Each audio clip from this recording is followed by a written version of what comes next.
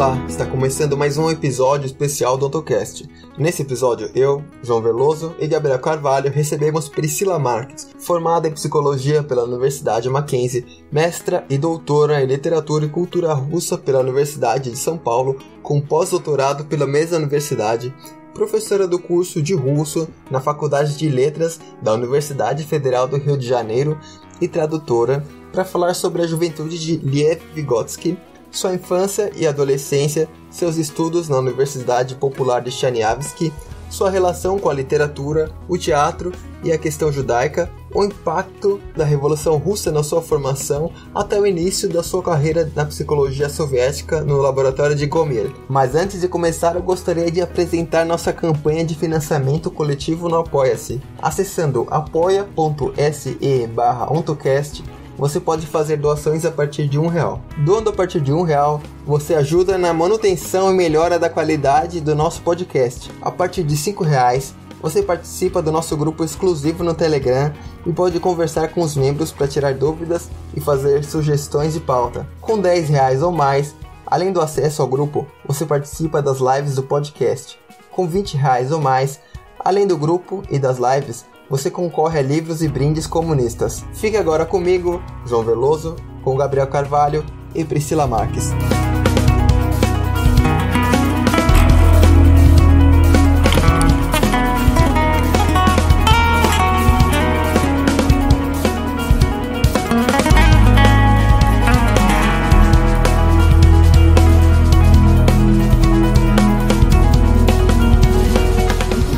Começando mais um episódio especial do Ontocast, seu podcast de ontologia de Marx e Lukács e assuntos correlatos, onde a gente faz divulgação científica e filosófica do marxismo comprometido com a luta contra os dogmatismos dentro do movimento comunista. E hoje a gente vai ter mais um episódio especial com uma convidada muito especial para quem está ouvindo o podcast pela primeira vez. Eu sou o Gabriel Carvalho, sou estudante de Ciências Sociais da Universidade Federal do Vale do são Francisco. Eu sou pibidiano do programa de Sociologia da minha universidade e também agora estou iniciando uma pesquisa na qual eu estudo sobre o trabalho no período final da escravidão no Brasil, para o qual eu apresentei um plano de trabalho em que eu utilizo as contribuições de Mois Postone para estudar sobre a dominação social do tempo nessa época final da escravidão no Brasil. E para apresentar o episódio comigo hoje está aqui o João. O João pode se apresentar. Oi pessoal, eu sou o João, eu sou bacharel em letras pela USP e atualmente estudo licenciatura em letras português e espanhol e sou tradutor. E a nossa convidada especial de hoje é a Priscila. A professora Priscila pode se apresentar. Gente, boa tarde. Meu nome é Priscila Marques. É, eu sou professora do curso de russo da UFRJ desde novembro do ano passado, é uma coisa recente. É, mas eu tenho um, eu tenho uma trajetória de pesquisa dentro da área de literatura e cultura russa que eu fiz na USP, na FEFELESH também, acho que então eu e o João somos colegas. É, é, na área de russo eu estudei literatura russa, estudei a psicologia da arte de Vygotsky e lá eu também me tornei tradutor, enfim, aprendi a língua e, e passei a traduzir textos que eram ocultos, desconhecidos ali do Vygotsky. É, que, acho que é basicamente o motivo pelo qual eu tô aqui hoje.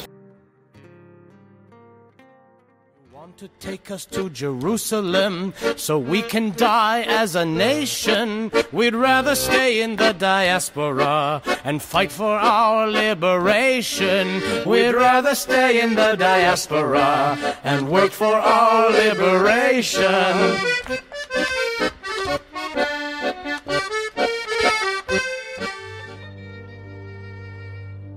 Como a professora já deu a deixa, a gente vai falar hoje sobre Vygotsky, mais especificamente sobre a juventude de Vygotsky. Eu convidei a professora Priscila porque eu tive contato recentemente com um texto inédito do Vygotsky que ela tinha traduzido sobre questões relacionadas ao antissemitismo, mas a gente achou melhor, achou mais proveitoso falar hoje mais amplamente do período da juventude do Vygotsky. Então, professora, todas as coisas assim que a gente teve contato em relação à sua pesquisa, eu acho que a gente poderia começar Falando assim de uma forma mais geral sobre esse período da infância e da adolescência do Vygotsky, e aí se você quiser fazer essa contextualização histórica, biográfica sobre o nosso intelectual bielorrusso, acho que seria um bom começo. Tá legal, Gabriel, obrigada.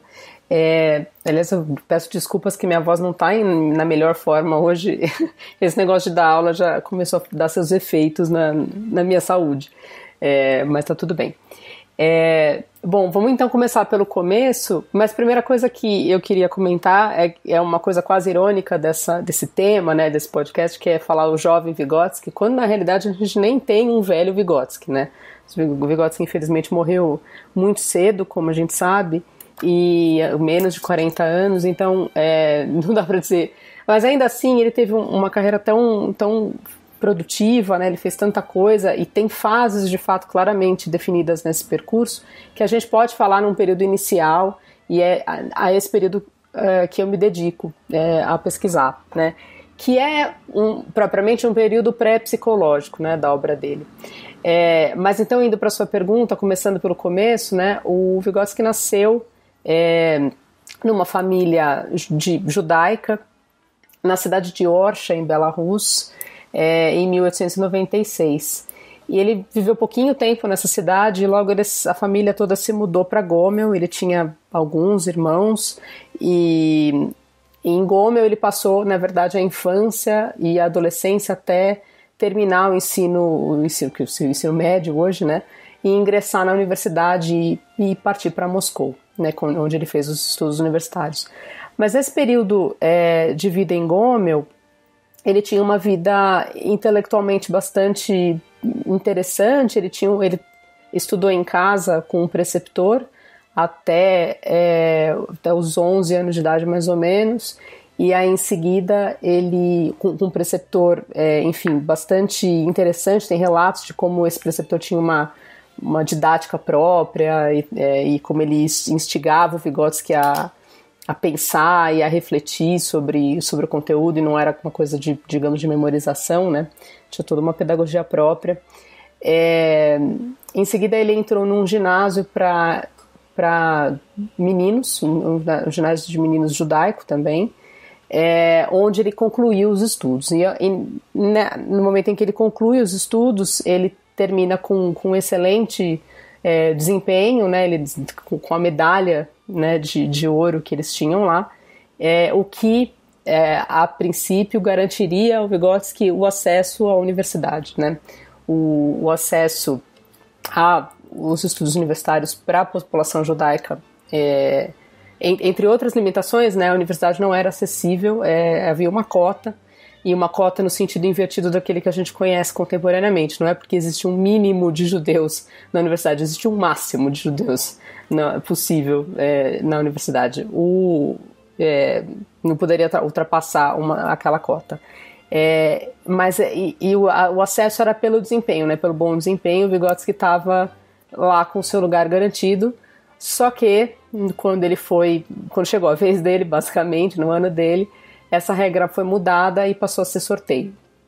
É, o acesso passou a ser por sorteio e Vygotsky foi sorteado. Então, bom, deu certo mesmo assim, mas é, com emoção, digamos. É, além disso, acho que é importante é, comentar que ele tinha uma, uma família bastante instruída, o pai dele organizou uma biblioteca na cidade, o pai dele era banca, banqueiro, é, quer dizer, uma família de, de classe é, média, assim, uma família bem estabelecida. É, e o pai é, do, do Vygotsky tinha, era, um, era uma pessoa influente na região e, e ele é, é, tinha essa sociedade, tinha uma sociedade pela cultura que tinha essa biblioteca é, pública, digamos assim. E, e, a mãe também era uma, uma figura muito, muito educada, de, de muita de uma formação ampla. É, foram fatores que influenciaram muito essa formação desse jovem, jovem e super jovem, né, do Vygotsky da, da infância e da adolescência. É, além disso, um pai bastante rigoroso e que impôs é, certas limitações, quer dizer, o, o Vygotsky acabou escolhendo fazer é, medicina e quer dizer, escolhendo assim, né, um pouco por, por pressão do pai, acabou indo fazer medicina em Moscou, depois imediatamente mudou de curso para direito. A verdade é que essa escolha tinha a ver com possibilidade de trabalhar no futuro, né? É, mas claramente essas não eram as opções é, que satisfaziam o, o Vygotsky então. E por isso, ao mesmo tempo, ele se, é, se matricula numa universidade que é, existia na época também, é, e que era uma universidade de iniciativa independente, digamos assim, não era uma universidade é, do, do, Estado, que foi a Universidade Popular de Chernivtsi, onde ele estudou História e Filosofia. Então, ao mesmo tempo, a gente tem essa figura que, que já, muito, já muito brilhante, muito é, interessada e estudiosa, é, e que já vivia um, um, certo confronto entre pressões sociais e obrigações e, e os seus interesses verdadeiros. O tema nesse período da, ainda da adolescência e da adolescência, né, de Vygotsky e Gomel, é o tema judaico é muito importante já, né? É, talvez o mais expressivo naquela época.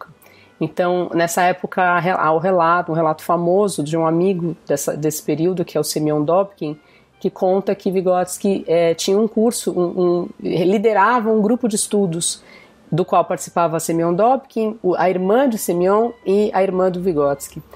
E o Semyon Dobkin descreve que nesse curso, uh, nesse, nesse grupo, o interesse era por história do, do, do povo judaico e pela própria noção de povo, né? Qual é a sua história, para que, para onde, de onde vem, para onde vai, né? O, o povo judaico. E então, bom, uma figura que já tem uma certa, talvez, liderança ou, ou um espírito de, de coletividade ali no, nos estudos com, com seus amigos. É, acho que é isso, acho que esse, sobre, sobre esse primeiro momento da vida de Vygotsky antes de entrar na universidade, acho que esses são os pontos que a literatura chama mais atenção. É, é curioso que a gente tem as fontes, só para quem quiser ler sobre isso, as fontes para saber essas histórias são a biografia é, do, do, da filha de Vygotsky, Vygotsky, a filha de Vygotsky, Gita é, Vogotskaya e Tamara Lifanova escreveram uma biografia que tem em inglês e lá tem alguns relatos. Tem esse relato do Semyon Dobkin, é, mas é curioso como a, o tema judaico aparece muito de leve ou quase não aparece na biografia do, da, da, filha. É, é, é falado no, no, no, por Dobkin e é falado por uma outra pesquisadora que se dedicou mais especificamente ao judaísmo em Vygotsky, que se chama é, Bella Feigenberg. É, bem, acho que é isso sobre esse primeiro momento. Bring out your Jew, bring out your Jew. You may have a Jew inside of you. A Jew, a Jew, a secret little Jew. A secret Jew is buried inside you. Então, professora, eu queria que você falasse um pouco mais sobre como é que foi a vida dele, como é que foram os estudos dele nesse período em que ele estava na Universidade Popular ali de Chelyabinsk. É, então, como eu estava dizendo, o, o Vygotsky fez. É, ele cursou ao mesmo tempo, então, Direito na Universidade de Moscou, Universidade Estatal de Moscou, Lomonosov, e estudou é, Filosofia e História na Universidade Popular Chaniavski, que era uma universidade meio dissidente, de muita qualidade, com professores que, que, que saíram é, em protesto da Universidade é, de Moscou. E, então tinha muitos nomes importantes nessa, nesse, nessa instituição, e foi onde Vygotsky, é onde aparentemente Vygotsky teve a, a, a, formação de maior impacto para ele, né? É onde ele teve aula com Julia Rinwald, ele conheceu é, muitas Spieto, né? Muita gente importante da época e e o curso de direito ele ele foi ele fez quase praticamente até o fim, mas ele não chegou a, a concluir.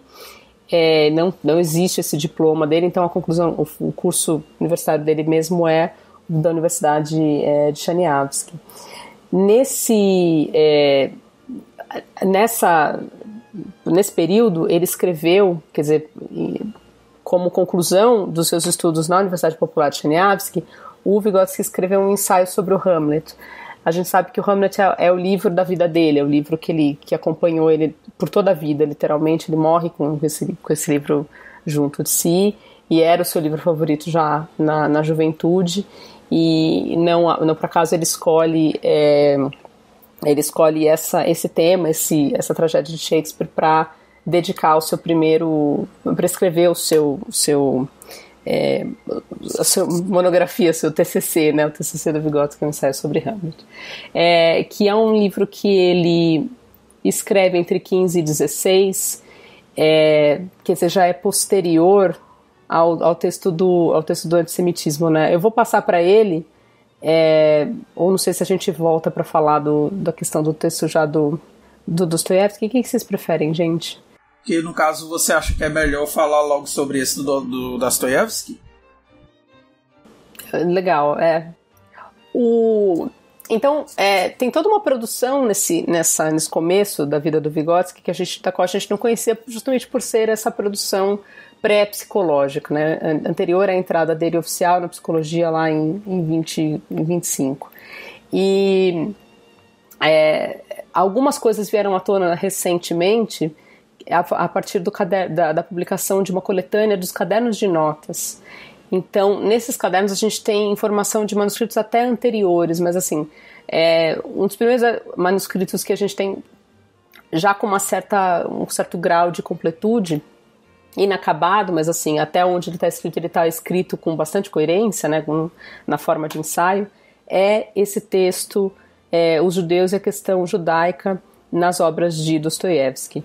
Esse é um manuscrito, então, que Vygotsky escreve entre 12 e 13, é, ou seja, bem jovenzinho ainda, né, com, uns, lá com seus 16 anos, 17.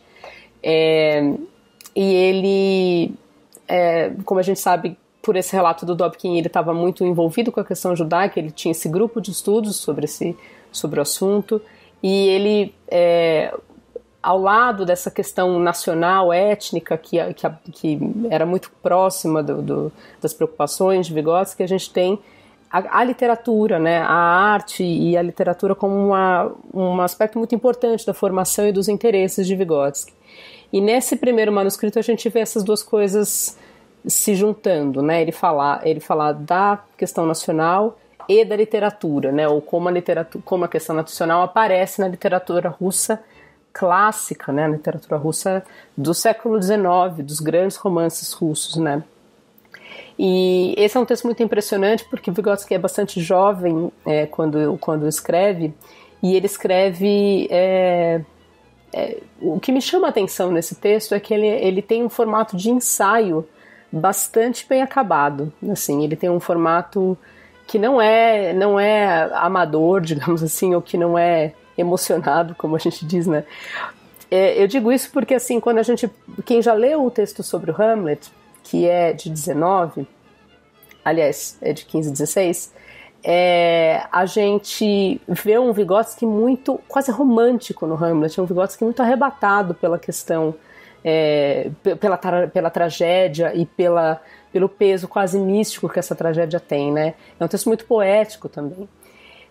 O texto, já o texto sobre a questão judaica, ele, ele é bem analítico, né? Ele é bem analítico, ele é bem sério. É o Vygotsky pega os, os textos de literatura é, que tratam, é, maneira, enfim, os, os, grandes autores da literatura russa, a representação que eles fazem da figura do judeu e da judia, é, e fala com muita, muita clareza, com muita é, de, de um jeito científico, ensaístico, muito, muito consistente desse assunto, é, sem grandes arrebatamentos, o que é interessante porque é uma questão pessoal para ele, né? Mas a gente não vê aquilo como ser tratado como uma questão é, apenas pessoal, como uma questão é, certamente uma questão política, certamente uma questão hum, humana, mas o que eu gostaria de chamar a atenção, acima de tudo, como uma questão estética.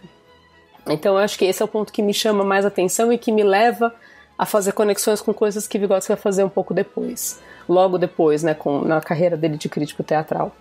É, o que Vygotsky, o que, o que perturba Vygotsky, parece, né, nesse acima de tudo, na representação que a literatura russa faz da figura do judeu, é menos a desumanidade, ou talvez não apenas a desumanidade dessa, dessas representações, quanto a, a, a falência estética dessas representações, ao, ao, a falha propriamente artística dessas representações. É, e Vygotsky tem um argumento muito forte, que é a literatura russa do século XIX, ela é uma literatura realista muito especial, realista, da tradição realista, mas assim, de, de, de tonalidades muito próprias, é, e muito, mani, muito humana, né? É, que não é de um realismo cientificista como o realismo francês, por exemplo. Então ali a gente tem questões religiosas, a gente tem questões. É, é, existe uma humanidade naqueles personagens que a gente não vê em, em qualquer outra literatura do mesmo período.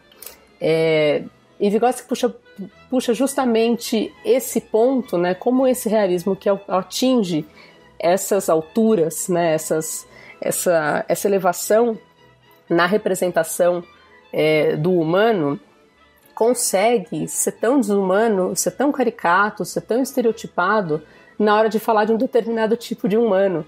Como é contraditório isso, né? É, então ele faz essa acusação, e essa acusação com base não apenas é, no fato de que isso estaria errado por si só, né? Mas porque estaria estatisticamente, esteticamente é, é, equivocado ou, ou contraditório. Né? Ele fala que, a, que Dostoiévski peca contra a humanidade, né, contra o humanismo daquela literatura. E não apenas Dostoiévski, ele fala de vários outros autores. O Dostoiévski é o antissemita é, da literatura mais famoso, eu acho, né? É, mas, ao mesmo tempo, essa é uma questão bastante complexa, é, é, ao mesmo tempo as pessoas sabem disso, mas as pessoas não, não gostam de falar disso. É um tema meio, quase que meio tabu é, nos estudos literários. Tem gente que se dedica a isso, mas é desagradável, né? Reconhecer que alguém que a gente considera um gênio da literatura tivesse tido é, ideias horrorosas assim. Então, é, mas é interessante que Vygotsky le levanta a bola de que não é apenas é, Dostoiévski, a gente tem em Pushkin, tem em Gogol, tem em outros autores tão venerados quanto, só uma parte importante, fora da Rússia, Dostoiévski é muito famoso e o, o, grande romancista que o mundo inteiro leu, né, e, e, e tudo mais, mas dentro da Rússia o Pushkin é, é, é, o mais famoso, né, o grande poeta nacional, e ele fala também de Pushkin ali. Acho que o único que ele dá algum alívio é, é Lermontov, que é um poeta também daquele, também do século XIX, e, e, que ele acha que ali tem um, um, um, pingo de, de humanidade em relação à figura do judeu, é, mas de resto ele faz um, um, belo apanhado, assim, um belo panorama de como os judeus são vistos, é, então, são representados na, naquela literatura.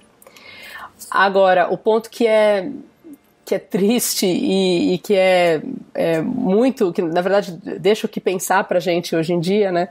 É que ele não terminou, né? O, o, o manuscrito, esse é um manuscrito que não, enfim, não está concluído, é, mas ele termina, quer dizer, ele, ao se encaminhar para o final, ele se encaminha no sentido de dizer que, apesar de todos os absurdos, Dostoiévski disse alguma coisa de verdadeiro sobre o judeu.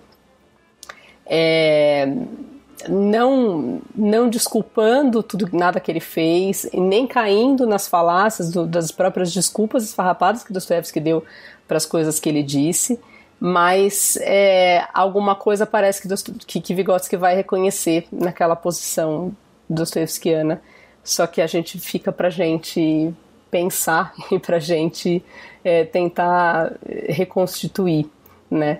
Eu ainda falei até para o Gabriel que eu pretendo escrever sobre isso, é, mas eu ainda não me sinto totalmente preparada para escrever sobre essa questão judaica porque é um, um tema complexo, me faltam de fato conhecimentos, inclusive sobre o judaísmo, para poder dar conta disso.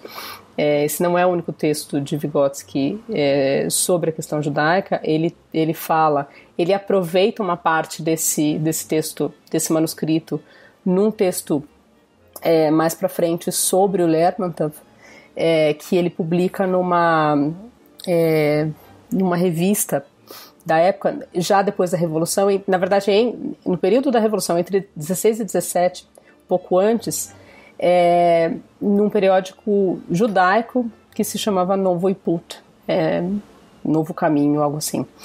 É, e onde ele escreveu também sobre feriados judaicos e tal. Eu pretendo ainda reunir esse material, tá, ele está traduzido já, mas, enfim, compor alguma coisa, escrever alguma coisa para tentar minimamente reunir essa, esse material e reunir algumas ideias. Tem pouca literatura sobre isso, mesmo em língua estrangeira, tirando a Bela Kotick Friedgut, que eu citei agora. É, tem um, um ou dois textos do Vladimir Sopkin e da Zaveshneva, mas é, em, em, português praticamente quase nada escrito, então é, a ideia seria preencher um pouco essa lacuna.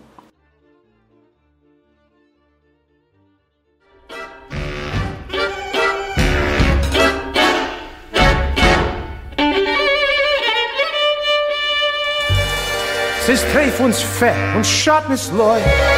Wir meiden aus dem Weg von Goy. Sagen mir die Hit bei eichen Häus. Kein Covid geben mir mit ob dem Joi.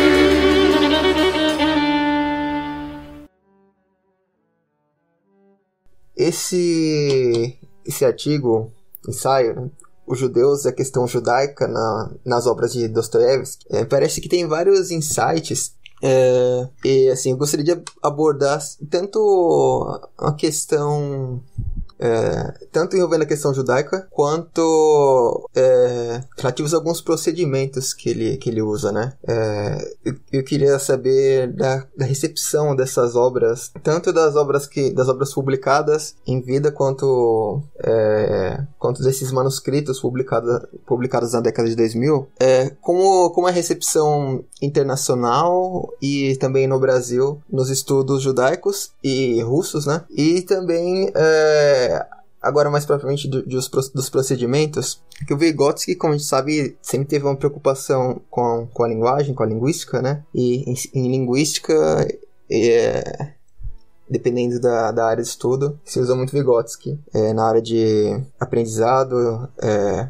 na área de aquisição de linguagem, enfim, e também na área, nos estudos do discurso. E tem alguns procedimentos que ele parece que, não sei se ele antecipa, ele faz uso de alguns procedimentos que já eram usados, né, na, na estilística. Ele faz um, ele faz um apanhado de, de autores para tratar de um lugar comum na figuração, é, na figuração dos judeus na literatura russa, né? Mas depois ele, ele, ele relaciona alguma uma análise estilística com a história. É, ele trata de uma, uma certa discursividade e eu queria assim, saber se esses insights, como que eles são é, desses procedimentos, como que é a recepção nos estudos, é, mas nos estudos contemporâneos em relação ao, ao discurso.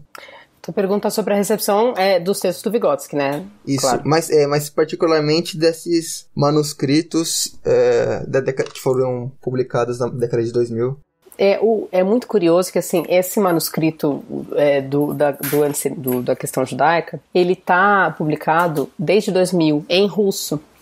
Só que ele foi publicado num livro que teve pouca circulação. A gente tem esse problema que aquilo que não está traduzido acaba é, tendo uma circulação muito limitada mesmo. Então, em termos de apropriação é, da, pela recepção, pela, pelos estudiosos de Vygotsky foi muito limitado. Mesmo a Bela Kotick Friedgut, que fala, é, que tem dois textos importantes, ela tem um livro e dois artigos sobre é, o judaísmo em Vygotsky, ela não fala, por exemplo, desse, quase que não fala desse, é, desse manuscrito. Eu não me lembro dela falar desse manuscrito, ela fala de outras resenhas. É, então, é, e de fato eu conheço, assim, em, em, nível internacional, até onde eu pesquisei, eu só conheço realmente a Bela Kotick Friedgut, que, fiz, que se dedicou a esse tema. É, sai, e saiu esse texto também do Vladimir Sopkin e da, da Ekaterina Zaveshna. A Ekaterina Zaveshna e o Vladimir Sopkin, faz, Sopkin fazem pesquisa de arquivo, no arquivo da família.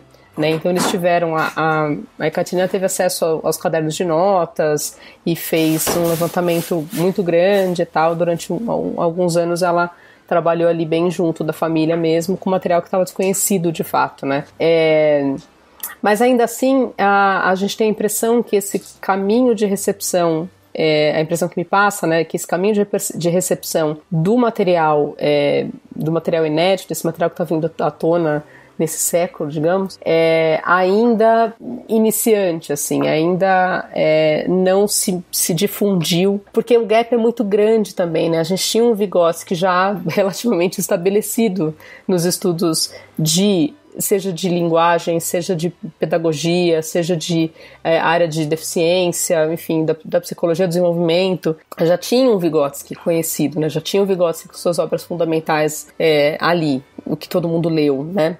E aí, essa, esse material novo, é, seja do ponto de vista. Então, essa, uma questão é: então já tinha essa, essa tradição de recepção estabelecida, e por outro lado, essa tradição ela se volta para um, questões muito práticas, né? E não tanto essa leitura que eu faço, não tanto para reflexão sobre a, o próprio processo é, da, da, construção da teoria de Vygotsky ou da sua trajetória intelectual, é, a gente tem pouca gente dedicada a isso, assim, a fazer grandes, fazer sínteses ou fazer é, é, retrospectivas ou, enfim, caçar coisas que é, não estavam conhecidas e que, e que podem iluminar alguma, algum elemento da teoria e tal. Essa não é, essa não é uma, uma uma avenida explorada, digamos assim, por um motivo bastante, é, bastante claro, que é, é isso exige em primeiro lugar, acessar os textos em russo. E essa é uma questão, uma dificuldade que a gente tem aqui no Brasil por motivos óbvios, mas não apenas no Brasil, né? Tem muitos estudiosos de Vygotsky fora do Brasil que, que também não leem no original e, é, e, e que estão aí com aquilo que já estava na mão, né? Então, é, não tem muita coisa, assim, tem pouca, tem pouca repercussão, tem um punhado de textos, assim, é, e, e junto com. com é, é, curioso como essas coisas aconteceram todas um pouco simultaneamente. Quando eu comecei o doutorado é, em 2010. É, ao mesmo tempo, estava pululando coisas, projetos de publicar Vygotsky, o Vygotsky inédito, uma coisa pelo Anton Yasnitz, que depois a própria família começou a soltar e soltou um projeto de obra completa. É, então, começaram a aparecer umas coisas aqui e ali, mas... E aí eu vou falar assim da minha, da minha própria experiência, né? Quando eu levo, é, dos últimos, nos últimos três anos, para cá, eu tenho é, participado mais ativamente, até bastante ativamente, de, de círculos vigotskianos, né, de grupos de pesquisa, de congressos e de eventos, e com, enfim, confraternizado com, com, os, com os colegas vigotskianos. E, e eu vejo que essa pesquisa que eu faço, por exemplo, com os textos de, da juventude e tal, ela tem é, algum interesse, assim. Na verdade, é, as pessoas são sempre muito bem recebidas no, nos lugares onde eu falo, porque todo mundo fica um pouco curioso, assim, nossa, que uau, né? Que coisa. E o fato também de fazer tradução, essas coisas é, é, é legal, assim, mas até que ponto isso está sendo incorporado ou, ou, mais como uma curiosidade histórica, ainda me, me deixa em dúvida. É, assim, a, a, porta parece estar aberta, assim, então eu tenho ocupado todos os espaços que eu posso para levar a palavra, assim, para falar desse assunto mas é, eu vejo que para quem trabalha com os textos de arte, com, que trabalha com psicologia da arte, o interesse é grande, é, mas é isso, assim, não sei até que ponto é, isso teve grandes repercussões, assim, eu não vejo é, o comentário de que de que Vygotsky era um judeu, a, já, já vejo aparecer em teses, assim, gente, que pessoa escrever, ah, não, Vygotsky de origem judaica e tal, isso é um, é um tema que nem sempre era, era falado, né? E uma outra coisa que eu acho interessante, quer dizer, outro, outro problema dessa recepção é, nessa dessa recepção tradicional do, do Vygotsky, a gente tem o Vygotsky marxista, que todo mundo ama, né? O Vygotsky da Revolução. Esse Vygotsky pré-revolucionário, ele parece um pouco é um pouco difícil às vezes de reconciliar com o Vygotsky da Revolução, justamente por um tema religioso, né? É, por, por, trazer à tona uma temática religiosa. Então parece que isso ficou debaixo do tapete muito tempo e com uma dificuldade de, de, de da, dos acadêmicos dedicados a Vygotsky de reconciliar mesmo. É a mesma pessoa, é a mesma pessoa, ela viveu é, um período em determinado lugar, ela tem essa origem, ela passou por tais e tais é, é, acontecimentos na vida dela. E a, a, tanto é que a gente tem, por exemplo, o texto sobre o Hamlet, que é esse texto de 15, um pouco depois né, do ensaio do, do Dostoevsky, que é, tá publicado em português desde 1999 ou 2000, que quer dizer, é uma coisa também muito anti, antiga, né? Assim, já estamos em 2021, né? Então tem duas décadas que esse texto está tá circulando, mas ali a gente tem o Vygotsky, é, para já tocar num outro ponto que eu tinha colocado no roteirinho, né? Um Vygotsky muito influenciado pelo simbolismo. E a gente pensa, parece que os estudiosos olham para aquilo e falam, não sabem muito o que fazer, assim. Que isso, né? Que o, a sombra e, e o e a morte e o outro lado e as influências místicas, isso parece que não tem lugar dentro de uma construção que já estava bem estabelecida de um pensador materialista histórico, dialético, é, que, a, que aderiu à revolução e que a, a, agiu, atuou de fato é, pra, pela construção da sociedade comunista e tal. Então, é, essa, essa fase pré-psicológica parece um pouco deslocada. Então, um pouco o desafio que eu vejo para minha própria pesquisa e, e, nesse campo é tentar reconciliar as faces e tentar, é, tentar pensar esse intelectual como uma figura íntegra mesmo, né? como, enfim, como uma, uma biografia intelectual mesmo é, que tem consistência. Não sei se eu respondi a sua pergunta. Respondeu, é, deu para entender muito dos problemas dessa essa questão da recepção dele e a língua, porque a língua é uma grande barreira, né? É, né, com certeza, acho que é a principal e, e, não, e não apenas, né? A gente tem uma questão que é, que é de fato, enfim, saber a língua para ler esses textos que não estão traduzidos, mas tem a, a, dificuldade desses textos estarem disponíveis, né? Assim, estou falando de um texto como esse texto da questão judaica que está disponível já há 20 anos, é, mas não era o caso, por exemplo, dos cadernos de notas que só foram publicados há, há talvez seis anos, algo assim. É, já nem é tão pouco, mas enfim, é, tem muita coisa que não estava disponível, que estava muito, quer dizer, todo o material que é o meu corpos de pesquisa, que são os textos até 25, os seus textos de arte, né, mas principalmente até, até 25, é, eles não estavam, eles estavam na, nas bibliotecas, em jornais, nas bibliotecas, na biblioteca da Rússia, né, então não era só é, saber a língua, era ter que ir atrás dos textos, é descobrir quais textos são, né, confrontar bibliografias, bi, é, listas bibliográficas, né, é, e, e, encontrar furos, enfim. A sensação é que a gente corre atrás do rabo um pouco. Isso para não dizer dos problemas é, com os textos originais publicados que tem censura, que tem cortes e tal. É, não, não afeta tanto o material que eu, tô, que eu trabalho, porque eu peguei esse material de primeira mão, é, a, grande maioria dele, mas afeta já a psicologia da arte, que é o primeiro texto, né? Então, que é o primeiro livro, né? Então é, é bem complicado, é bem, realmente é um, é um ninho. Eu, quando eu vim de onde vim, né, que é no, do curso de, é, da pós-graduação de literatura e cultura russa da USP, todos sei lá, 90%, 95% das pessoas ali trabalham com ficção, algumas pessoas muito corajosas trabalham com poesia e todo mundo faz tradução. É, um, é uma grande escola de tradutores esse programa, é, que foi fundado pelo Boris Schneiderman e tudo mais. E ele. É, e eu pensava quando, quando eu decidi fazer esse doutorado com Vygotsky que eu estava me dando bem, assim, porque eu não, tava, não tinha escolhido textos literários, então ia ser mais fácil, assim.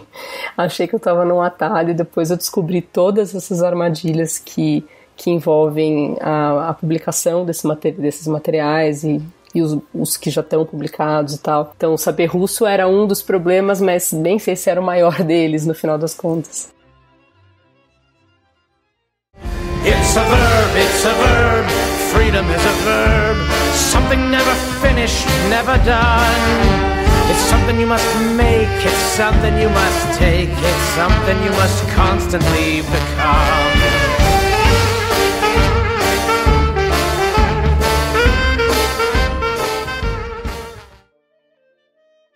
A gente tem problemas assim para encontrar alguns para conseguir pesquisar alguns autores é, soviéticos, russos, etc. Por essa questão de ter muita coisa inacessível ou que ainda está ou na forma de manuscritos ou ainda no idioma original, de ter sido adulterado e tudo mais. Vários autores que a gente tem interesse, como por exemplo, há um tempo atrás pouquíssimo tempo atrás eu tive interesse pelo Revodilienkov, outro autor altamente inacessível, né, que sofreu várias adulterações, que a gente tem uma inacessibilidade assim dos, dos materiais dele que são bem é uma coisa assim muito triste. Mas ainda nessa questão da questão judaica pro Vygotsky, né? Eu acho que foi com você que eu cheguei a comentar no privado sobre como essa questão era tratada eh, pela, pela própria família do, do Vygotsky, né, os descendentes dele, né? Como se fosse uma coisa de tipo, ah, a gente não, não falava sobre isso, né? Como é, qual era o, o impacto que isso tinha na vida dele? E aí alguns familiares chegavam a dizer que a gente não, não tocava nesse assunto, mas que com certeza foi algo que afetou a vida dele. É, a gente chegou a tocar nesse assunto num outro episódio sobre Vygotsky. Agora eu não me lembro exatamente se foi com a professora Zoya Prestes ou se foi com a professora Gisele Toassa que a gente chegou a comentar sobre a família dele ter sido vítima dos pogroms, já no contexto da União Soviética. Né? Então, algum impacto na questão do antissemitismo naquela região ali da Rússia, da União Soviética, teve na vida dele. Né? E a gente não pode ignorar isso. Eu sinto que são aspectos na vida de certos intelectuais marxistas que as pessoas ignoram. Né? Muita gente ignora que o Marx era um judeu, muita gente ignora que o Walter Benjamin, que é um, um autor que é muito mais verbal nas, nas influências religiosas, étnicas dele nas obras dele, que as pessoas simplesmente ignoram isso, né? Vou falar só um pouquinho em cima do que você está dizendo, sim. é, então, porque de fato, acho que tem é, algumas coisas que dá para a gente pensar sobre a, o apagamento, né, do, do judaísmo do Vygotsky, né? É, por um lado, é isso, a gente tem essa, essa lacuna na biografia que a própria filha escreveu, isso é uma coisa que chama atenção, é uma coisa que a, que a, a pesquisadora Bella Kotick Friedgut fala, isso como como assim, né? Onde foi parar, né? Esse, esse aspecto. E agora a gente tem mais clareza quando a gente vê esses textos iniciais e quando a gente vê a, a, o, o, os cadernos de notas no livro com a seleta dos cadernos de notas, a gente tem um capítulo inteiro só sobre a questão judaica. É, então, é evidente que o impacto é muito grande a tal ponto é, que ele tem, enfim. Só para citar alguns exemplos, ele tem um grupo de estudo sobre isso ali com 14, 15 anos, com, com os, os colegas é, lá em Gomel. Ele escreve sobre isso na forma de um ensaio bastante maduro já, é, ainda na juventude. É, ele revisita e ele continua visitando esse tema em outras resenhas que ele publica nessa, nesse periódico. Ele, ele se torna é, secretário científico, ele é, ele é funcionário desse, desse periódico Novo Iput, que é um periódico é, judaico da época. É, até eu, eu coloquei isso, acho que numa imagem no slide no, no curso que, que a gente fez lá com, com a Gisele, do grupo é, eu, eu coloquei que assim que a Revolução de Fevereiro aconteceu, o esse periódico é, demonstra seu apoio a, ao governo provisório, né, quer dizer, a favor das, das mudanças progressistas na sociedade russa e tal. É, então, ele ele está dentro desse, dessa, dessa comunidade judaica que é bastante, é, que é politicamente ativa, inclusive, que é, enfim, expressiva, que sofria todas as, todas as dificuldades de ser russo na Rússia, na, na Rússia do século XIX até a virada para o século XX, até, até a Revolução, basicamente, né, que eram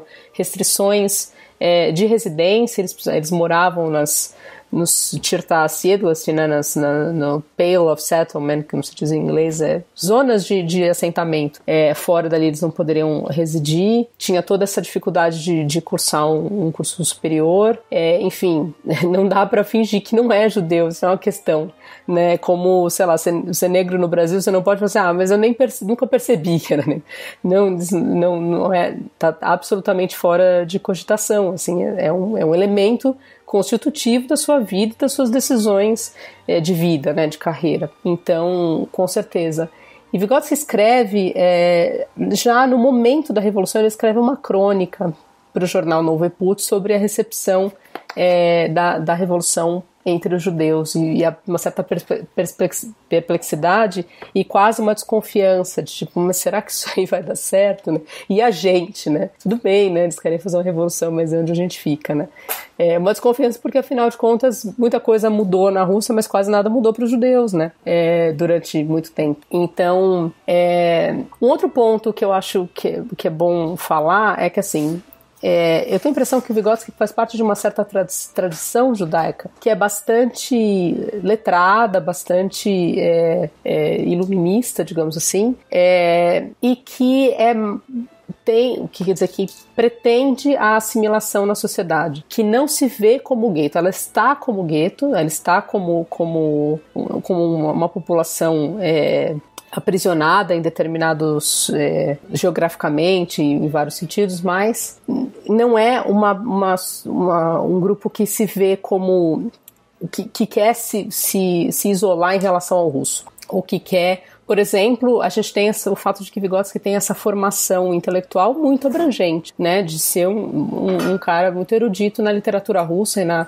e na filosofia russa. Então ele não é, não estava nessa, nessa coisa sectária de que nós judeus, a gente só lê os judeus e a gente, enfim. É, isso quer dizer, isso, isso quis dizer que a partir do momento em que a revolução acontece, em que essas e que essas que a, a, a posição do judeu na sociedade muda radicalmente, radicalmente, assim, da, da água para o vinho. A gente tem toda, é, toda plena igualdade de direitos, de todos os direitos para essas pessoas instantaneamente após a Revolução. É, isso faz com que eles, digamos, eu vou dizer de um jeito que talvez não seja bom, mas que eles esqueçam essa história. Ah, não, nós, nós somos judeus, porque isso já não é uma marca que era imposta. Não que eles deixem de ser judeus, né? Eles não deixam de ser judeus. Mas é, isso já não é uma. O interesse parecia que dessa, dessa, dessa, dessa comunidade era de fato de se integrar e de ter essa, é, essa igualdade de direitos.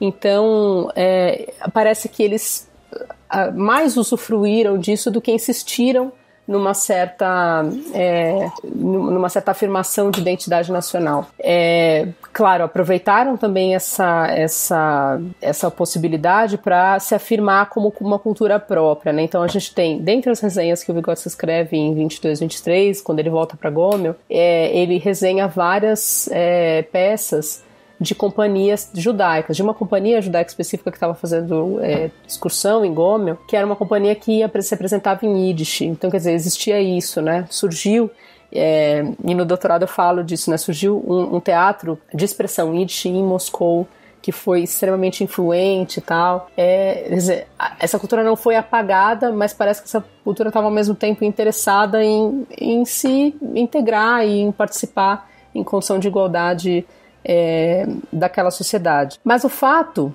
o fato assim que a gente que eu observo olhando a produção do Vygotsky do começo até, quer dizer, desse, dessa primeira, desse primeiro período, né, é, a questão judaica, ela desaparece, quer dizer, como tema de preocupação, é, é, você não tem é, texto sobre isso, exceto por essas resenhas que ele faz das peças teatrais dessa companhia Yiddish é, que está em Gomel. Fora isso, ele não reflete mais sobre isso, porque parece que como como questão de pessoal ou como questão social, isso meio que já não é algo que, que precisava é, ser problematizado. E, e não sei até que ponto, quer dizer, os filhos e a família que viveu depois certamente teve problemas também, porque aí Vygotsky viveu até um certo tempo onde as coisas estavam ainda bem, né? Mas a gente sabe que o antissemitismo volta na Rússia com, com força, as restrições voltam a acontecer. Então, é, então pode ser que esse apagamento posterior esteja influenciado por esses outros fatos, por, enfim, por essas outras questões de uma Rússia após, sei lá, anos 50 e tal. É, diferentemente do apagamento, entre aspas, que acontece no próprio Vygotsky, que parece que assim, o tema simplesmente deixa de ser central. Ele, ele passa a se ocupar de outras coisas. Ele tem uma sociedade para ajudar a construir, basicamente. Ele está ali de volta em Gomel, podendo cumprir mil funções na vida pública. É, então ele vai arregaça as mangas e vai atrás disso, assim. É, e aí, de fato, a reflexão sobre aquelas reflexões sobre o que é o povo judaico, para onde vai, para onde, de onde veio, isso é, arrefece um bocado, assim. Sim, então eu acho que a gente pode passar para esse ponto sobre a influência que o simbolismo teve na obra dele. Legal.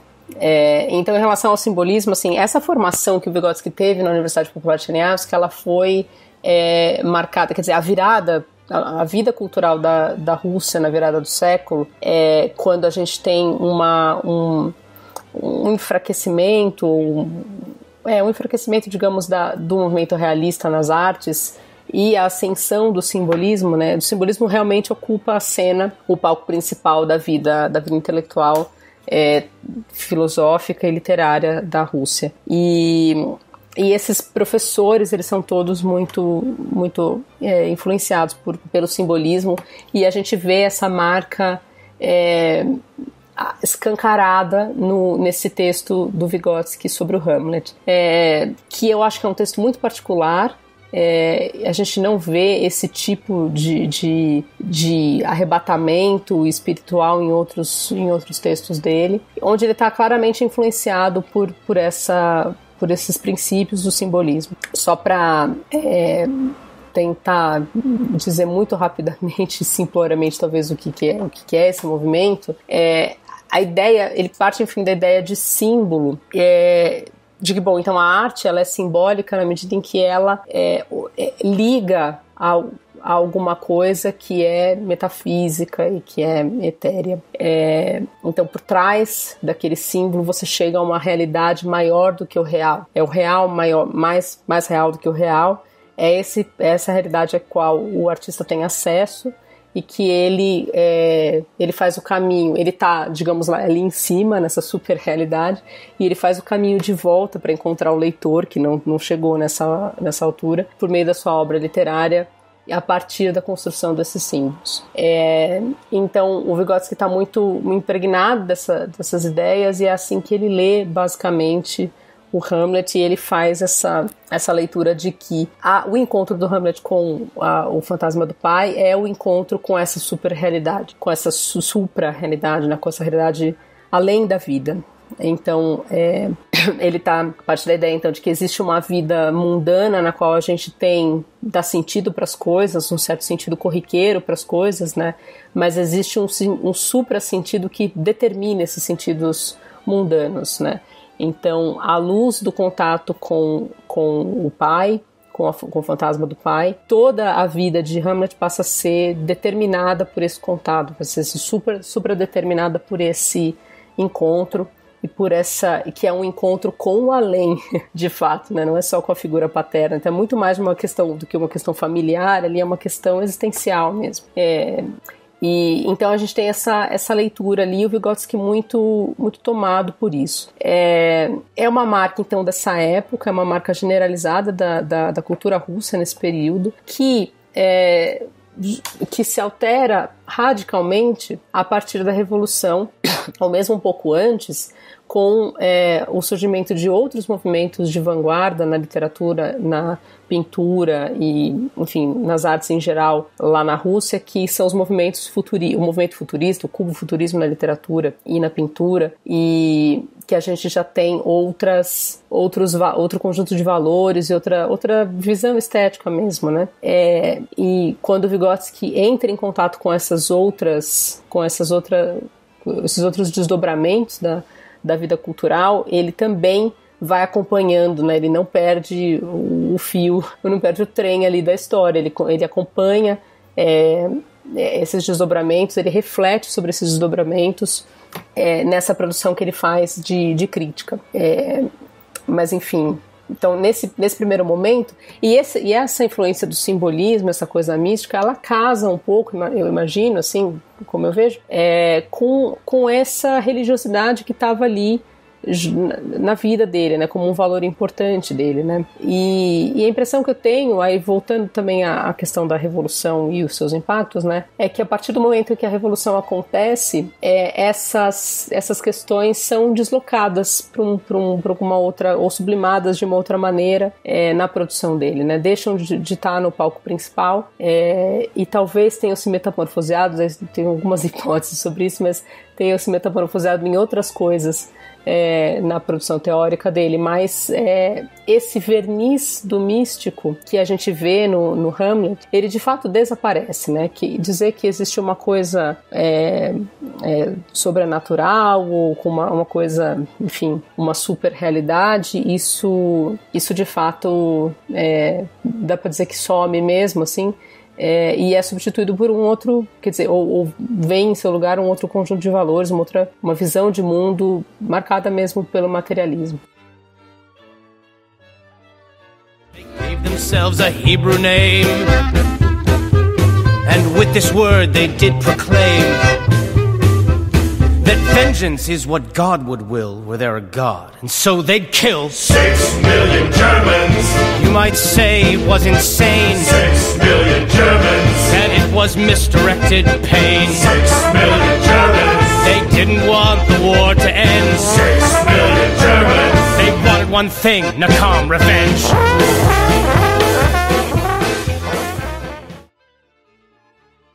Então, é, professora, é, eu queria que você falasse, por favor, do período de Gomel. É, Gomel, a gente, em Belarus, em Belarus mesmo é Homel, né, que, como eles falam o gay. Eles inclusive escrevem com, uma, com H, mas para para desespero da minha professora de Belarus, eu eu adoto essa, essa grafia do russo, que foi como, enfim, eu sempre vi desde o começo. Então, como eu disse no começo, o Gomel é a cidade onde, onde Vygotsky passou sua infância, a cidade que ele considera sua cidade natal, embora tenha nascido em Orsha, mas ele praticamente não viveu lá, então é, assim que ele conclui os, os estudos é, universitários, ele retorna para Gomel por, por questões familiares, por questões de, de dificuldades com, com, a saúde de vários membros da família, o irmão e a mãe estão é, doentes, eles, ele volta para ajudar e ele é, logo em seguida ele viaja é, na direção. Agora eu não vou me lembrar. Ele sei que ele para em Kiev, mas ele tá indo. Não é para Kiev, agora eu esqueci o nome da cidade.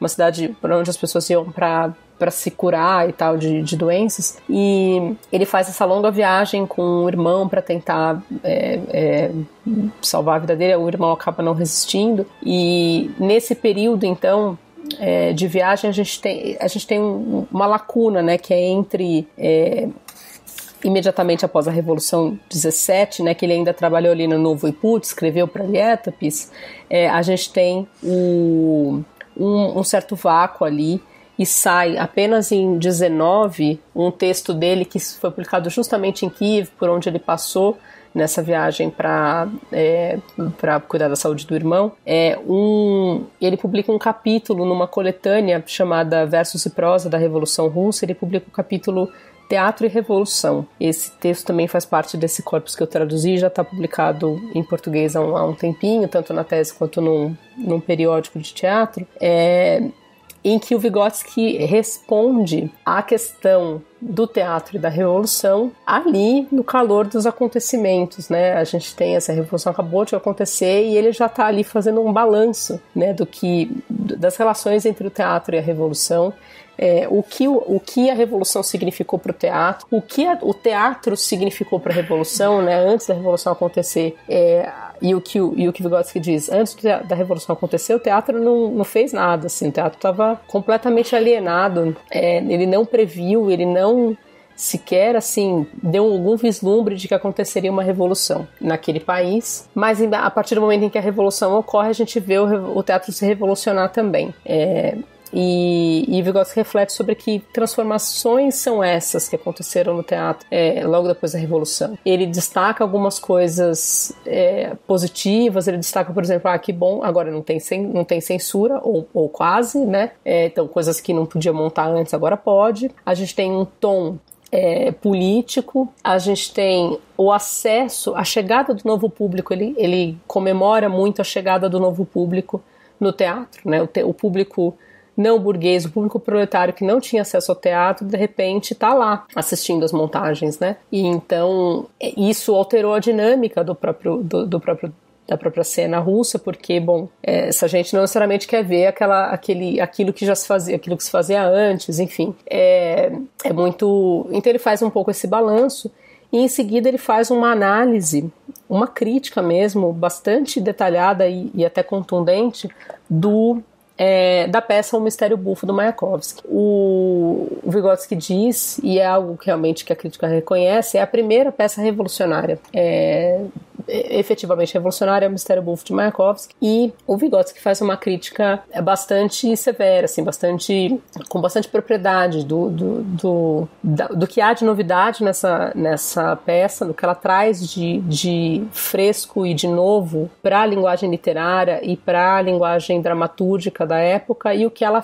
faz e quais são as deficiências e limitações dessa peça em relação a a falar da revolução, né, a, a, fazer jus à revolução. Esse então, esse então é um, é um texto até um pouco extenso, né, em comparados com, com as resenhas que ele escreveu antes, que saiu em, em 19, é um texto que ficou também oculto completamente, é, inclusive o próprio livro era muito difícil de ser acessado porque ele estava em grafia pré-reforma, então ele foi, ele foi confiscado das bibliotecas, enfim, meio que desapareceu, mas, enfim, é, hoje em dia a gente teve acesso a ele e, e foi possível traduzir. Ele foi traduzido para o inglês também e, e eu traduzi para o português. A gente já tem então o Vygotsky. Poucos anos depois, quando eu falei assim que a gente não tem o velho Vygotsky, né? Para estranho falar do, do jovem quando não tem o velho, mas é isso. A gente está vendo que de dois anos, um intervalo de dois ou três anos significa muita coisa. A gente tem então de 15, 16 que estava fazendo Hamlet, 19 a gente tem o Vygotsky falando em outros termos, assim, né? De fato muito diferente, assim, já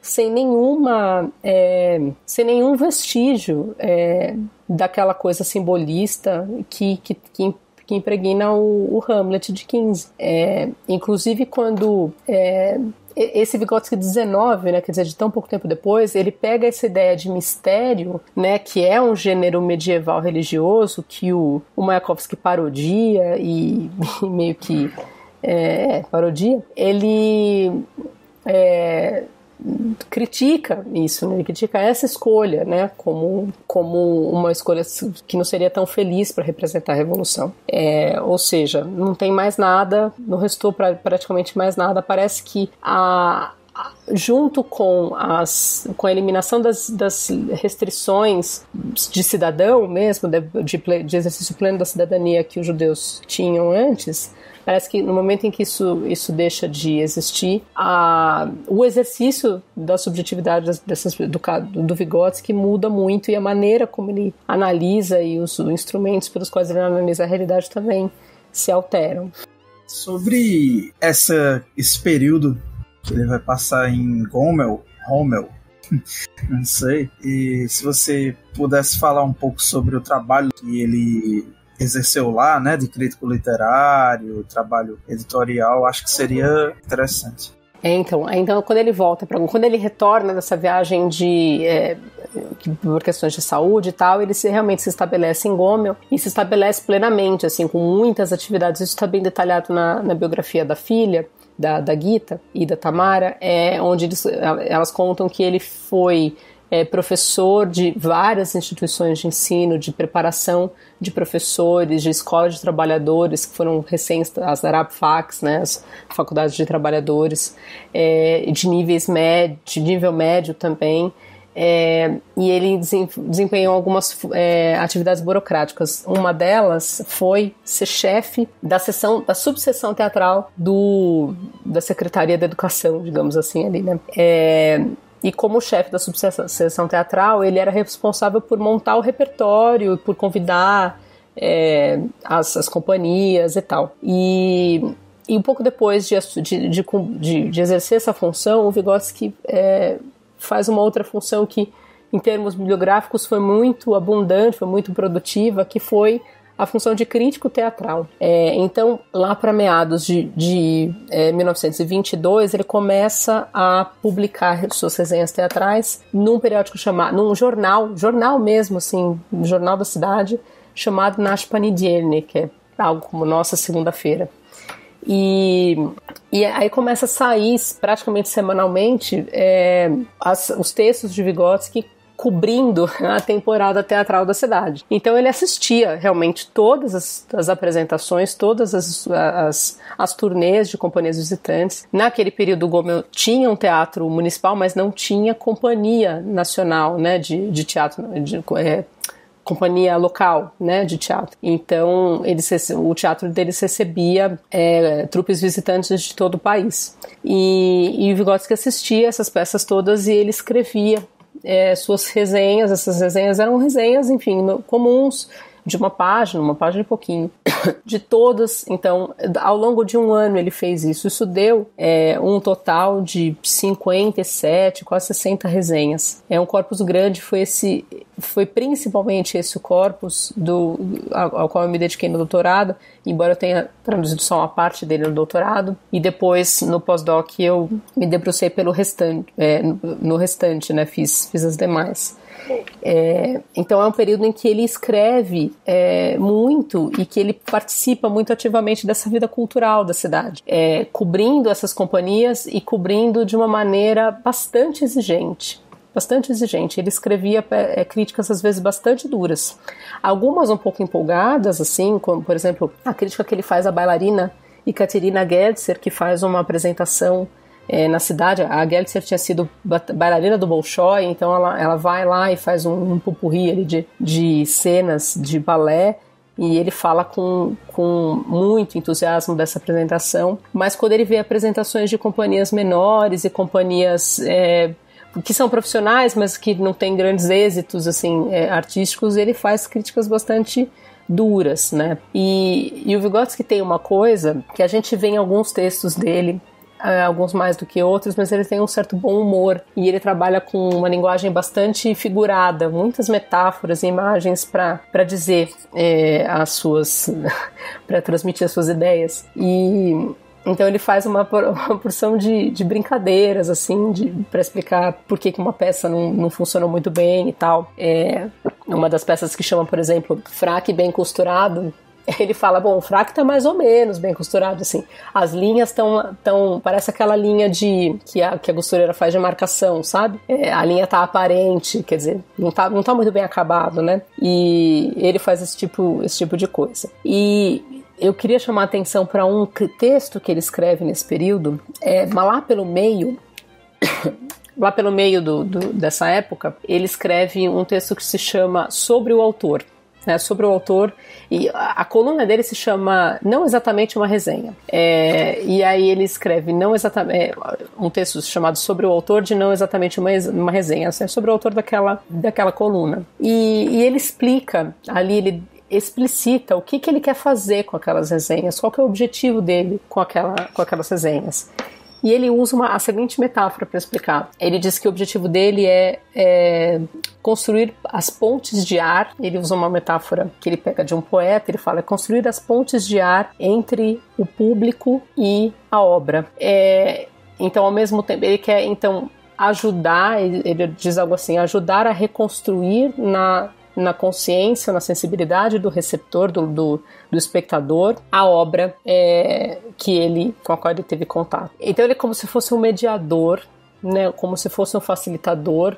Ele não, não que ele explique as obras, mas que ele comenta de tal forma que a sua percepção se, se, seja mais enriquecida do que ela tá, do que ela foi apenas com o seu contato imediato é, com aquela peça, com aquela apresentação. É, aqui ele, a gente tem ele estabelecendo já muito claramente um, um, um aspecto estético da, da atividade é, crítica dele. Então, o objetivo é estético, o objetivo é atentar para as qualidades, os méritos estéticos daquela obra e um objetivo pedagógico também, que é ajudar as quer dizer, contribuir para que a, as pessoas que entraram em contato e o espectador daquelas obras tenham uma, uma percepção mais sofisticada daquela, daquela obra. É, ao mesmo tempo, o Vygotsky está olhando, ele está olhando não apenas para o receptor, ele está olhando não apenas para o espectador, como um, uma parteira, assim, uma, um, um facilitador, um mediador da percepção estética desses, desses receptores mas ele também está interessado em ajudar a melhorar a qualidade da produção teatral e da cena cultural da sociedade. Então ele faz é, ele dá instruções para as próprias companhias, ou ele dá indicações é, no sentido de contribuir para que essas companhias evolua, evoluam é, profissionalmente, esteticamente e tal. o que eu quero dizer com isso é que essa função de crítico de Vygotsky é ao mesmo tempo é, ela é pedagógica, mas ela é de, plenamente de um ativista social, de um ativista, de alguém interessado em, em promover uma mudança naquela, naquele contexto né? É, tanto do ponto de vista da população quanto do ponto de vista da qualidade da vida cultural. Ele não está não tá só sentado ali dizendo que, o que veio na cabeça dele quando, quando viu a peça.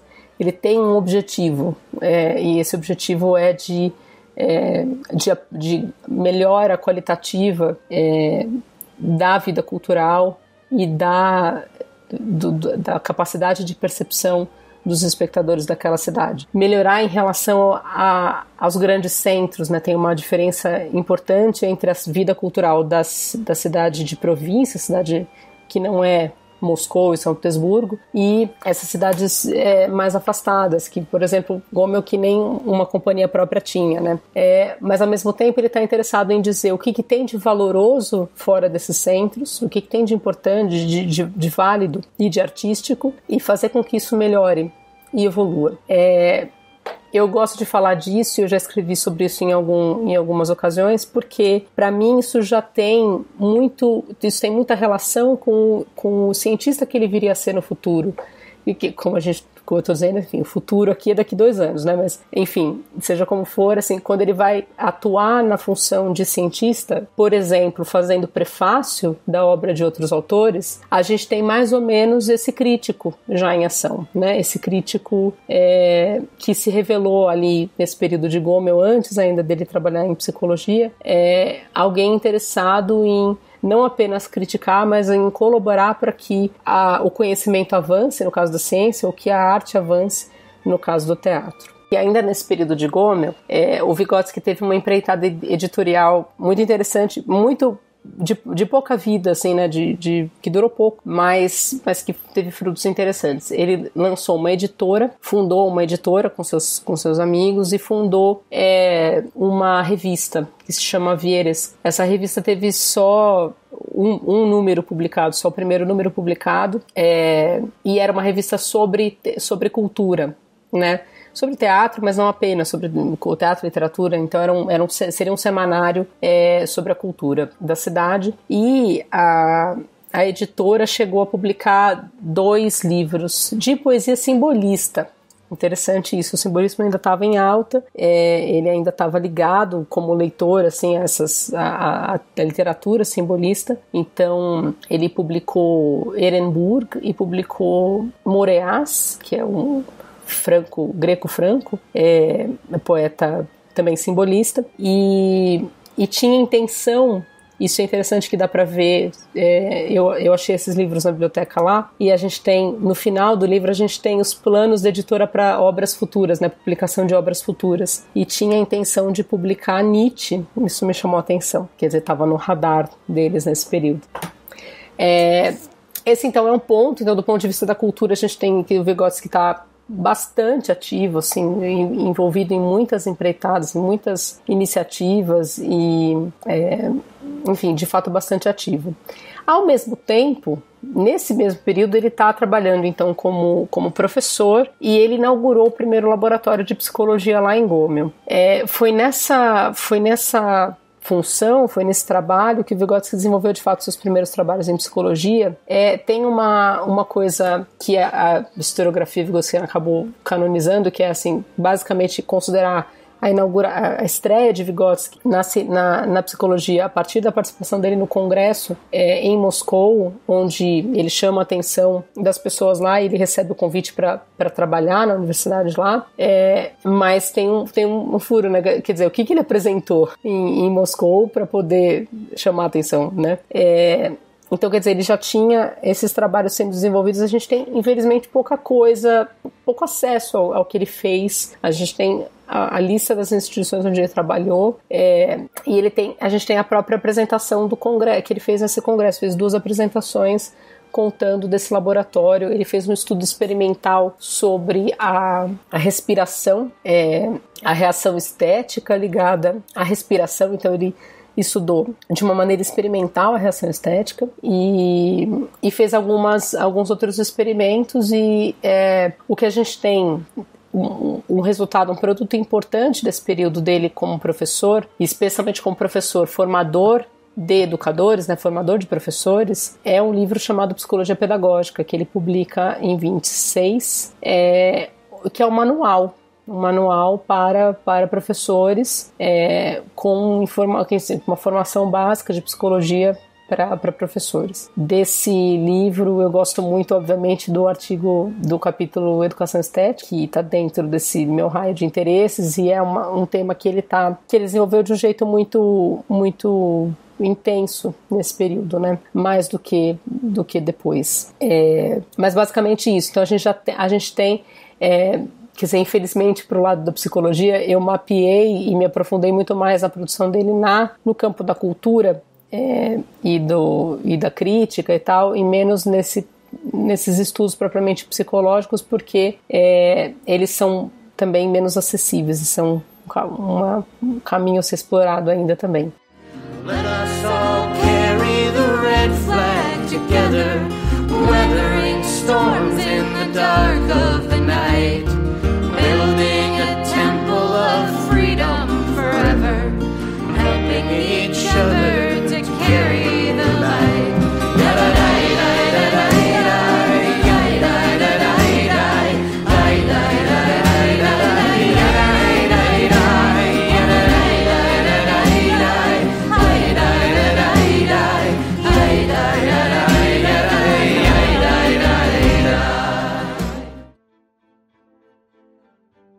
Então, aproveitando agora para a gente entrar no tópico das experimentações em psicologia. E eu não sei se a gente, é, a gente trata como um tópico só ou separado, porque parece que é muito entrelaçado, né? Porque entre a questão da, das experimentações em psicologia e a psicologia da arte.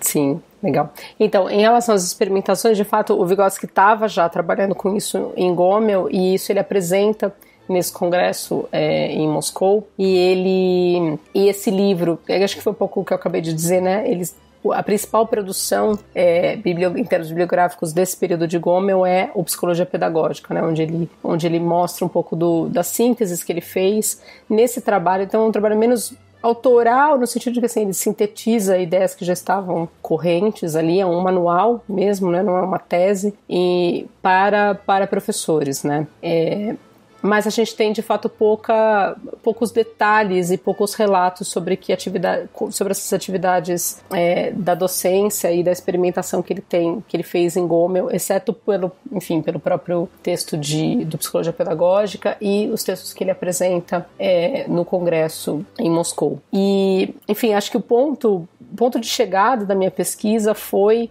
é, o Psicologia da Arte, porque foi o livro que me levou para Vygotsky, o livro que me, é, o tema que me interessou em primeiro lugar quando, quando eu fui para o Vygotsky. Eu, como qualquer outro aluno de psicologia, estudei Vygotsky na faculdade, mas eu, como também provavelmente qualquer outro aluno de psicologia, não estudei Psicologia da Arte na faculdade, é, porque é um livro que de fato é pouco comentado na graduação. O Vygotsky aparece como um autor ou de Psicologia do Desenvolvimento, com, quando muito, é, mas principalmente como um autor da Psicologia da Aprendizagem e Psicologia Escolar. E é, foi só porque eu escolhi um TCC e foi assim que me, se deu a minha transição diária, né? Eu escolhi fazer um TCC sobre Dostoiévski, justamente, e me pautei pela, pelo método e pela, pela, pela proposta vigotskiana de misturar psicologia e arte, que ele desenvolve em Psicologia da Arte. É, e foi aí que eu li esse livro, foi aí que eu descobri o caminho que eu queria trilhar em seguida. E foi assim que eu fui parar no russo e tal. É,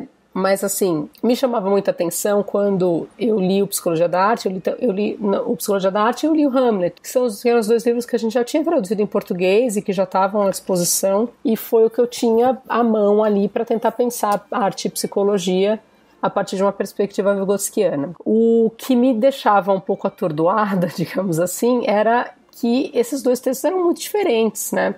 Em função de todas as coisas que eu tentei expor um pouco já antes, É, são livros que separados por apenas 10 anos. 10 anos pode ser pouco na vida de alguém que viveu 90, mas para quem viveu menos de 40 é muito. É, então a gente.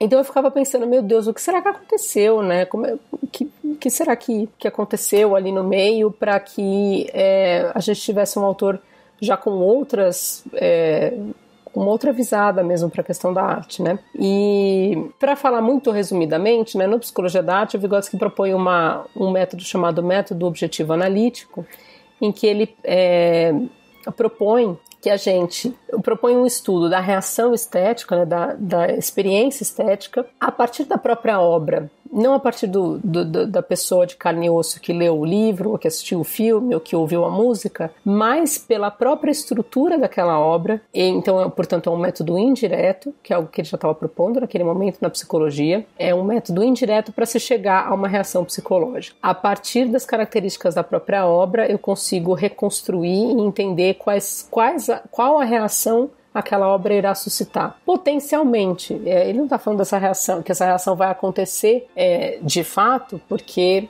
a reação real, ela depende de outras coisas que não só a estrutura da obra, é, muitas outras coisas. Só que ele queria uma reação estética pura, entre aspas, uma reação estética que, é, é, de, que fosse estética no sentido de que ela fosse oriunda especificamente da obra e não de outras coisas. É, então, o Vygotsky faz isso fazendo um debate, inicialmente um debate crítico extenso, com outras vertentes da, da, da estética e da, do pensamento sobre arte.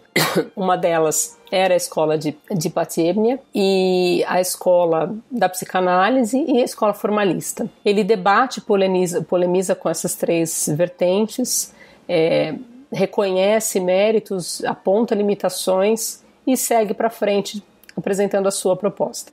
Antes de apresentar propriamente a sua proposta, ele testa o método, ele apresenta de maneira prática o método, fazendo, mostrando três análises, é, análises propriamente, né, literárias, que é a análise da fábula, é a análise de uma novela do Bunin chamado chamada Leve Alento e a análise da tragédia. Então ele volta ao Hamlet e ele volta ao Hamlet já e isso é muito, muito chocante quando você lê o Hamlet que está em 25 dentro de Psicologia da Arte e lê o Hamlet de 15, a gente vê textos bastante diferentes, com pontos em comum, mas com ausências muito significativas. É, então, ele faz então esse, esse, esse é, essa exposição prática do método é, e depois ele faz as suas generalizações teóricas sobre o que é a reação estética, o que é a arte como catarse, qual é a psicologia da arte que ele está propondo e termina fazendo um, um, capítulo muito bonito e importante que se chama Arte e Vida, né? Como que ele entende a arte é, e as suas relações com a vida e a sua relação, a sua relação muito, muito sutil, muito mediada e nada linear e automática entre a experiência de, de ter contato com a arte e a vida que se tem em, em seguida.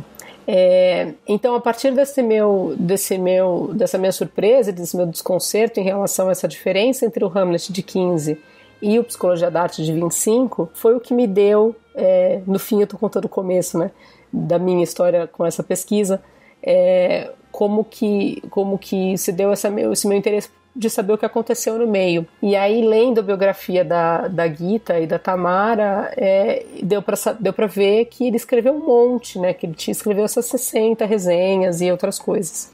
É, e aí foi o trabalho de ir atrás disso. É, então, realmente, para para tentar concluir como, como eu li essa, essa, esse material todo, a, o que, acontece, o, que, o, o, que acontece na minha percepção é que esse trabalho que o Vygotsky faz em Gomel é, como crítico literário, como crítico teatral, é como se fosse um, um laboratório onde ele vai experimentando as suas ideias sobre arte e, e as suas a sua maneira de olhar para a arte. E onde ele vai, a partir de, de, outras referências, de outros interlocutores que, que a gente vê que mudam muito porque o, a Terra girou lá na Rússia, quer dizer, aconteceu a Revolução, é, algumas figuras saíram de cena, outras apareceram.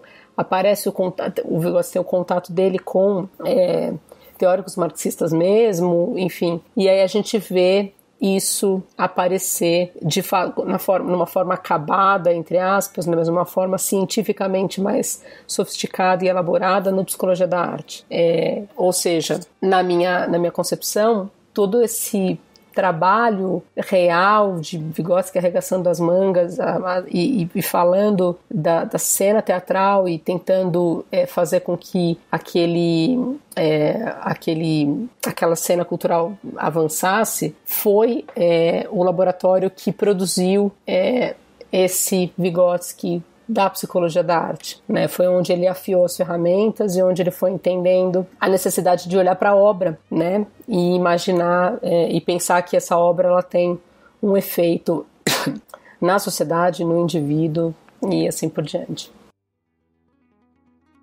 Foi uma conversa bem massa que a gente fez aqui hoje. Acho que é um assunto bem interessante esse sobre a juventude Vygotsky e que espero que a gente consiga fazer com que os nossos ouvintes se interessem, né, por conhecer não só a sua pesquisa, mas todos esses novos textos, novos documentos que estão sendo descobertos, que estão sendo traduzidos, tanto do Vygotsky como de vários outros autores marxistas soviéticos dessa leva menos conhecida, né, pelas pessoas. Eu digo menos conhecida assim porque se pensa muito, ah, não, mas o Vygotsky é um nome muito famoso no meio marxista, na psicologia marxista e tudo mais, mas a gente sabe que não é bem assim, primeiro por aquela questão uh, das obras mal traduzidas ou simplesmente adulteradas que a gente tem que são as que foram recebidas no Brasil, né? Toda a questão que a gente já falou aqui com a professora Gisele Toassa, com a professora Zóia Prestes, é, mas também dessas obras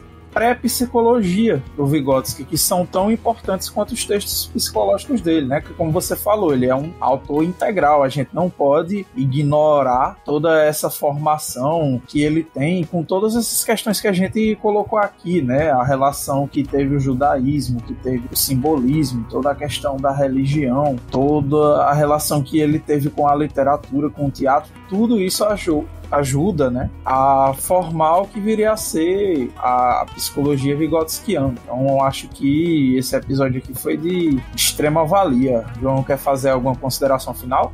Gostaria também de agradecer pela tradução do artigo Os Judeus e a Questão Judaica nas obras de Dostoiévski, de FM Dostoiévski, publicada na revista Rus, Revista de Literatura e Cultura Russa, é, que traz é, apontamentos muito interessantes sobre a, a, figuração dos judeus na literatura russa é, e para mim assim, eu, eu, conheço eu conhecia mais questões histórias é, da história ligada aos, aos pogroms na Rússia é, a história do antissemitismo na Rússia mas eu não tinha é, não tinha essa leitura da literatura russa. Então esse artigo foi é, é, a tradução a tradução desse artigo para o português eu considero bem enriquecedora. Sim, sim, vou inclusive reiterar esse agradecimento, porque ultimamente eu tenho me interessado muito por ler sobre essa questão do antissemitismo. Hum, assim, no meio em especial da esquerda, né? A questão do antissemitismo, esse fenômeno na Rússia soviética, na Rússia pré-soviética, acho, achei extremamente interessante esse, esse documento inédito que agora a gente tem acesso. Então, queria agradecer e parabenizar muito a Priscila por, por essa tradução ficou muito, muito legal, muito massa. Então, Pris, se você quiser fazer suas considerações finais, pode ficar à vontade. Eu quero sim, gente, com o que me resta de voz, eu ainda quero agradecer também. Eu queria agradecer a vocês é, pelo convite, Gabriel, principalmente com quem eu conversei mais de perto, e a gente montou esse, esse roteiro e foi é, a tradução desse texto que chamou mais a atenção do, do Gabriel. Acho que Acho que teve uma certa repercussão mesmo, porque, enfim, material inédito sempre. Mas acho que tem algo de especial nesse texto que é o tema mesmo, né?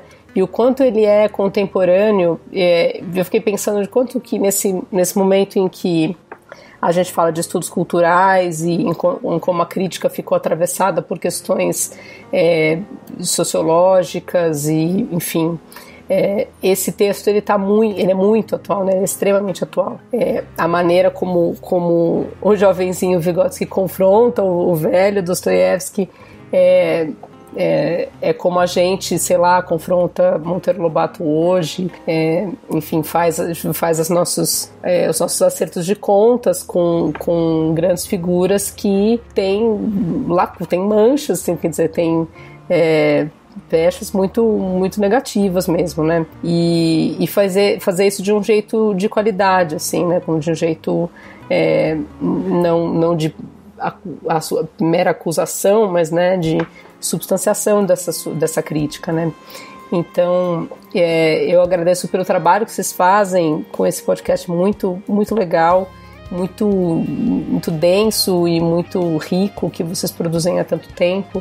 É um, é um orgulho para mim, uma honra participar dele. É, eu já tive uma colega, a Gisele, aqui, ela me recomendou altamente a participação pela seriedade de vocês. Então, é, acho que é um trabalho de divulgação muito importante, né? A gente está na academia, às vezes as coisas circulam de um jeito tão limitado e restrito em, em só em certos meios, né? Então, acho que a possibilidade de levar essas coisas para um, uma audiência maior é sempre é, muito preciosa. E, enfim, toda vez que eu tenho a chance de, de falar dessa dessa linha, dessa trajetória de pesquisa é sempre é, é algo que eu nunca recuso, assim, porque para mim é muito, muito importante fazer com que essa, essas coisas que a gente faz, afinal de contas, tenham alguma, algum eco, né? Então, por isso eu agradeço a vocês. Bom, professor, a gente que agradece. Foi uma conversa muito especial e muito obrigado pelos elogios. Eu acho que uma das coisas mais gratificantes assim, de fazer esse podcast é ver que pessoas, né, os intelectuais marxistas de grande qualidade que a gente traz aqui têm esse apreço pelo nosso trabalho. Legal, gente, muito obrigada mesmo. É uma experiência muito, muito legal participar do podcast e, e trazer é, pesquisadores tão importantes e fazer esse trabalho de divulgação. E receber, receber esse elogio dos convidados é, é muito especial pra gente. Então, é isso. Mais uma vez, obrigado à professora Priscila por ter aceitado o nosso convite. E muito obrigado também a vocês, ouvintes do Ontopest, por terem ficado aqui até o final. Espero que tenham gostado de mais esse episódio especial do nosso podcast. Então, um grande abraço a todos e um bom momento.